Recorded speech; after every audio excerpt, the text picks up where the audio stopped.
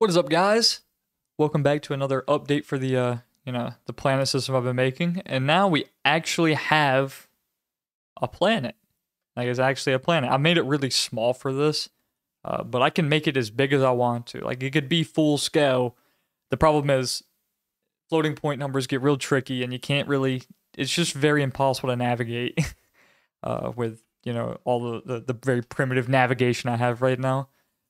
So I've just made this planet really small for demonstration. Um, as you can see, each side of the planet is made of six sides. It's basically what, I did is I made a cube of the terrains we had from last time. I made a cube out of them. Um, then I just normalized all the vertices to be the same distance to the center, and then added uh, added noise to it. Problem is the noise isn't continuous, so there is gaps between each of the six sides. So I suppose I need to come up with a solution to that.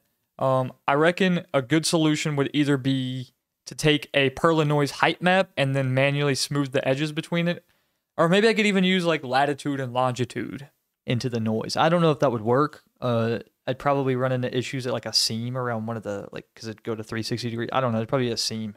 I don't know yet. Um, but as we get closer, the detail will, you know, fade in as per as it should. There's our there's our beautiful seam between these. So that's nice.